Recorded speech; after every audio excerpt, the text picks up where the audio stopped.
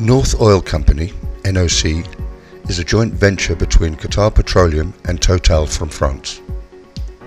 They have been using SAP for a long time. Itelligence has partnered with NOC for a five-year AMS contract which will be delivered on an on-site offshore model.